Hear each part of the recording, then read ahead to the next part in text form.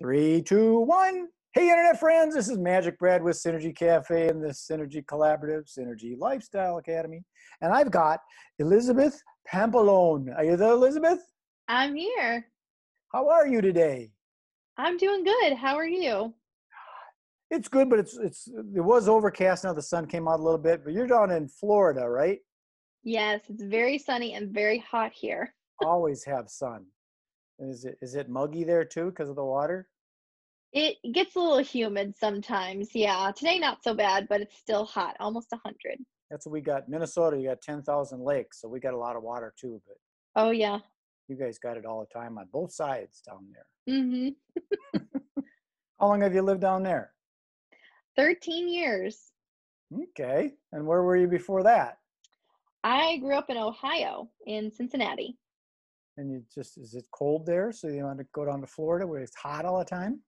I know, I know. It wasn't uh, my first choice, but I did end up. I landed in Jacksonville, and uh, actually, started my business here 13 years ago. So it ended up being pretty good for me.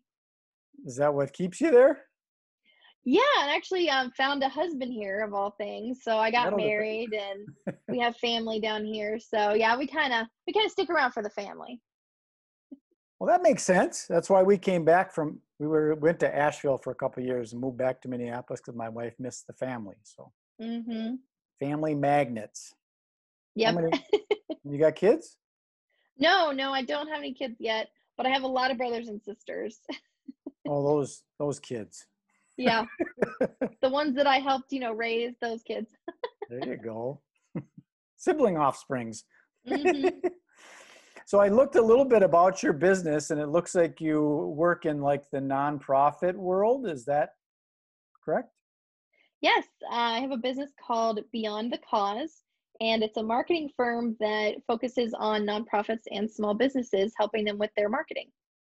So do you kind of like merge the two together? Like, uh, say, for example, Target Corporation wants to do a community event, so they bring in like a nonprofit where they help uh, rescue dogs, and it gives that warm fuzzy thing. So their marketing doesn't seem like it's all about money.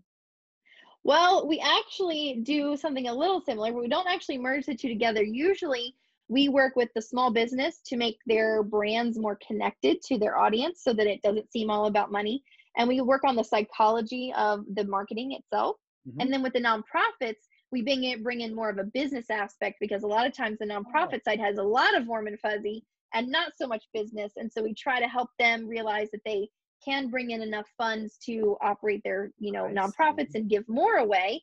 Um, so we kind of bring a little balance to both worlds. You're you're an equalizer or, Yes. a, or a harmonizer or something like that. I've never really liked the concept of like balance. You like they talk about uh, work-life balance. Yeah. Because I don't think anything balances. I think it's always in flux. It's always moving around like a teeter-totter. You know, it never really balances. It kind of it's in more in harmony. I guess might be the term. Yeah, I think I think that's an an accurate thing is is harmonizing because when you're harmonizing with someone and you're singing, you're Mhm. both singing at the same time. So things are happening all at the same time rather than having one and the other and you know so so yes things just have to be working all together and so that's what we try and help small businesses and nonprofits do is realize their strengths and weaknesses and then build those weaknesses and and then also play more to their strengths as well Yeah, I've noticed that uh, like some people that are more the I don't know if it's the left or the right brain that's more emotional. Is it the right brain that's more?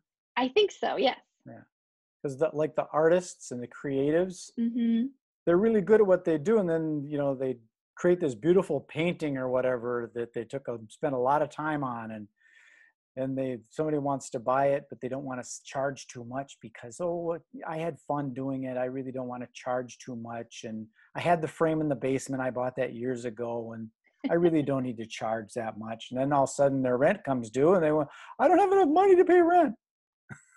I actually worked with an artist a few years ago, and she had all those same things she was telling me all the time.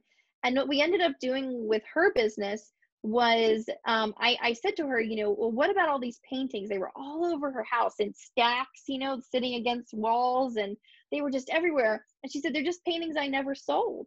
And I said, well, how can we move them? What's what's gonna make them move? She goes, I don't know. I've tried everything. And they were beautiful and they were amazing. But again, she didn't want to charge too much. So I said, let's do this. Why don't we create collections just like they do in the fashion world? So we took a bunch of paintings, we collected them into a collection of like 12 or 10. Then we put a price tag on them and we said they're only available for six weeks or eight weeks and then they were gone. We were taking them off, and she was going to donate them to whoever, like charities and different companies and things like that. And she was like, "Well, what's that going to do?" And I said, "It's going to create urgency that these are only here for a short time."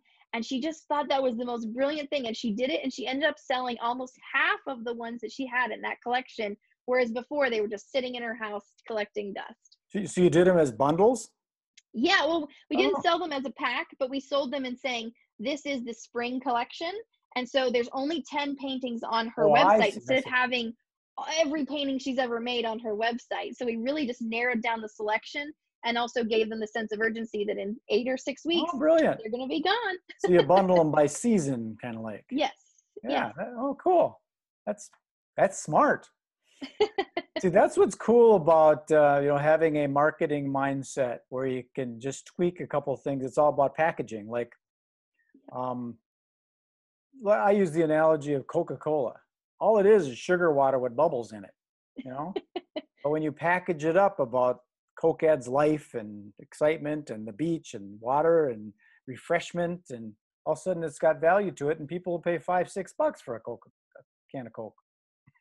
yep, and then some of the companies even do the um, white labeled for the grocery stores.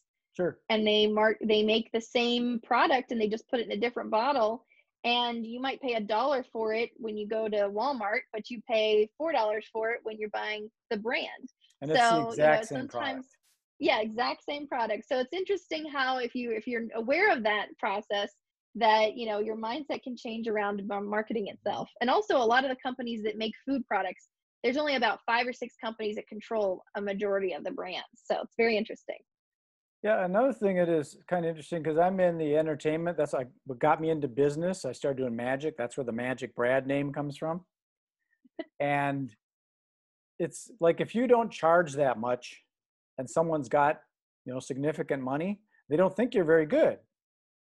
So mm-hmm. you might have to raise your prices just so that they think you're you're capable and even though you do the exact same presentation you do at a kid's birthday party, it's just for adults, and now you're wearing a, you know, a Armani suit as opposed to a clown costume. It's just the packaging of it, and it changes the perceived value. Because, you know, if someone's wealthy, they don't want to hire somebody for $150. They want to tell their friends, yeah, this guy was 1500 bucks.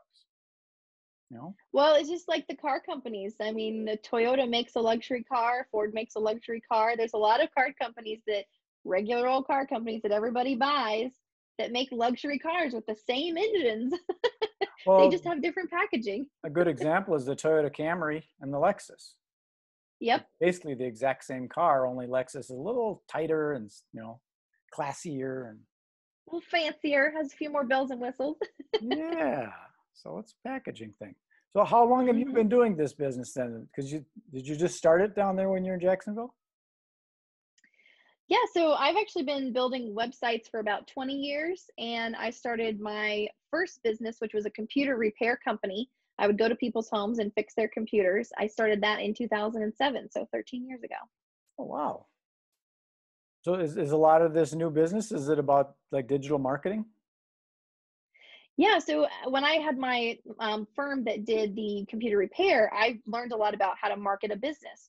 And I ended up telling a lot of people how I did that and how I was successful, and realized that I could kind of go back to my roots as a web designer because it was all marketing that I had done just from learning it myself, trial and error over the years.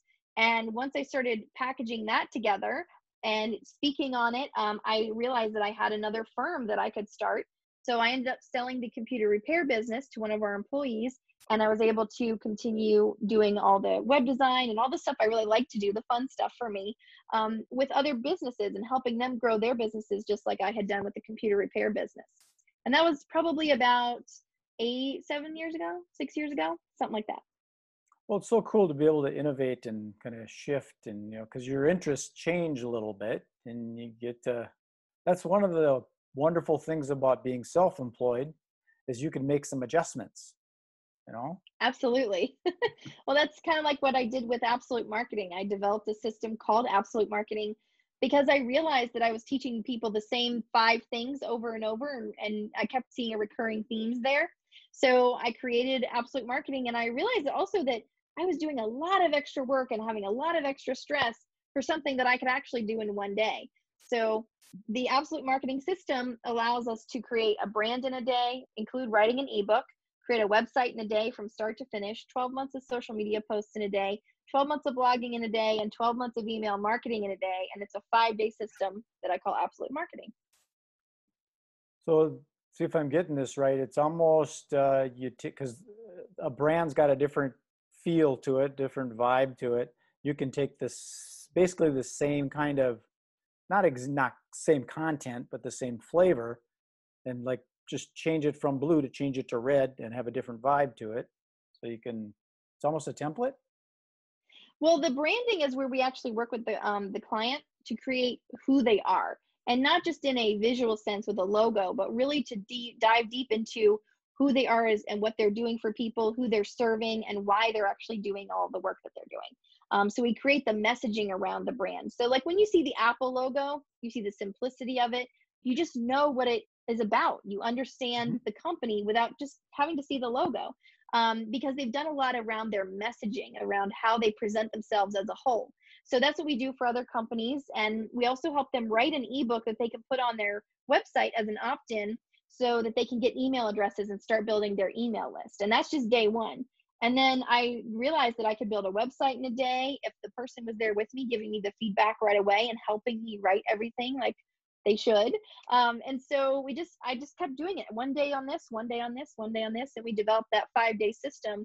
And it helps people do basically create entire year's worth of marketing in five days and then they're done. They don't have to worry about it and they can actually do the things they like to do like go and get clients to perform magic for and things like that well that's what i uh, said too is that uh, you shouldn't like the the person that has the business shouldn't be spending all the time doing the marketing they should be doing customer service because that's yes what they're supposed to be doing. So and it, selling, it sounds, you have to sell. it sounds like uh, it's kind of like a. I like to use a car analogy. The wheels and the frame and the engine, it's all basically the same thing. Now you put the body on it, and it looks a lot different. So you could have a yeah. a little um, economy car, and then just put a truck body on it, and it looks totally different now. So the, the mm-hmm. might have to boost the engine up a little bit and so I, I, get I get what you're doing. That's pretty cool to be able to head. And it works time, for. Hmm? Yeah, it works for small businesses and nonprofits. That's the other thing is that it, like you said, those foundational pieces, they're the same, and you just got to use them to your advantage. You know, when you go through them. Yeah, to me, there's basically three things you got to have: leads, relationships, and you know, make sales. So it's plant the seed, nurture the plant, harvest the fruit, and that's mm-hmm. the same Like even a nonprofit needs to make sales. Yep.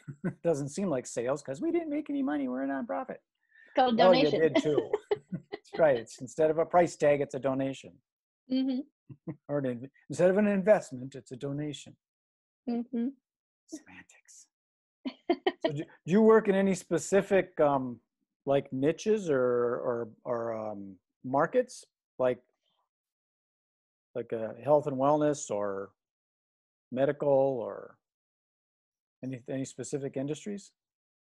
I've actually not narrowed down my industries per se, but I have narrowed down my demographics. So my best customers are usually mostly women and some men who are between the ages of 40 and 65 and they're starting that second business or maybe they've been in business a long time or maybe they're just starting and they're just starting that second career you know they're starting over. And so we really are able to help those people because you know a lot of younger people who are even younger than i am they have a lot of this down and we get some younger people but not not too many. Um, and they kind of know what they're doing. They can kind of navigate that world a lot better but then i find these people who have all this knowledge and all this experience who are in that 40 to 60 range and they just they just hit a wall when it comes to the digital marketing space. And so we're there to just make it simple and easy and get it all done and then they can actually go and do all that stuff that they know how to do which is really neat. Oh i totally get that because i'm 63 i just turned 63 on the 19th so happy oh birthday happy to me. birthday but my brain does not function the way that someone that grew up with a screen in their hand. You know the younger generation they they're swiping this and that and the, the texting how fast they can do that. I can't my brain just doesn't do that kind of thing. So it's that kind of thing like if i had if i wanted to start a business it's a whole new tool set. Why not hand those over to someone like you that knows how to use that wrench? Because i don't know exactly. because it, it blows my mind. I remember um, my wife's son when he was younger he was in the back seat and we gave him both of our phones and he was texting each phone. He would text this phone that with his thumb. Mind boggling how you can do that. I get i get glazed over for it so. It's always good to be able to outsource. I mean I, that saves a business owner and I, i'm assuming that some people that are just starting are afraid to outsource because they don't know first off they don't know what they're supposed to be outsourcing but it's uh, delegate delegate and automate absolutely and it, it can be a little scary because a lot of people have also been burned already. We get a lot of people that have come to us that have had that bad experience with someone who didn't really know what they were doing or maybe were too new to the business themselves and didn't really have a good tool set, you know, or process. So we really, you know, take the time to educate them and bring them along and answer as many questions as we can because it's not a cheap process. It's not something you're just to, oh, that was just $200, no big deal. It's a big investment. And so we know that and we also value you know our clients time and their money because we know that for every dollar you know you've done something to earn that dollar and we don't want to just take advantage of the fact that you have those dollars in your hand um, we want to be able to provide value for that and make you feel like we're not just going to you know take it and run because that's not what we're here to do well, otherwise we like wouldn't to, have a business that's why i like to do these videos like this because you can actually see the person whereas you just get these little emails with someone that has a graphic right. image on there and you don't know if they're real or not and because there are there have been a lot of people that have been stung like you know i'll build you a website for $150 and they just take a wix website and they don't really do anything to it much right know? so there's a lot of scammy stuff out there and that's why i like to keep this stuff open and transparent like i said if the cat jumps up on the desk that's a good thing then we know you got yeah. a cat it's not a green screen here this is a real deal back here Right. well, I don't like to do these too long because people do have that commodity of time, you know, because they're supposed to be working. but is do you have anything that you can offer people to kind of get to know who you are and how you how you work, like a little uh, workbook or a white white paper or something like that they can get? Yeah, so I use a ton of tools in my business and they've been very helpful for me. Some of them are free, some of them are paid. But um, I have all these free trials as well that I offer on my website at beyondthecause.co forward slash tools. And I also have my social media workbook there. Um, it is a paid workbook, but um, I do like to just offer those tools links because sometimes it just takes so much time to search for the right tool that you're you just need an email marketing platform that's just going to work correctly right? Or mm-hmm. you might just need that terms and conditions and policy so that your website is in compliance and you just need that one thing. That's the only thing that's left on your list. And so time taking time to search for the right one it, it's a lot of very time consuming. So i've done all that work um, i've done years of that work and i've found the right tools um, for me and uh, for a lot of my clients so i put them all together in one list and some of them have discounts and things like that um, some of them are just free which is fun and they're all at beyondthecause.co forward slash tools that's easy to find slash tools. Yeah. well, wonderful. Well, Elizabeth, I appreciate you taking the time to be on Synergy Cafe. I will get this beamed up to the universe, and then I'll send you some links. And if you could help propagate it out to the universe, we'll uh, absolutely we'll see what the internet can do with those little spiders that crawl around and find keywords. Sounds good. Thank you so much for having me. Thank you. Peace.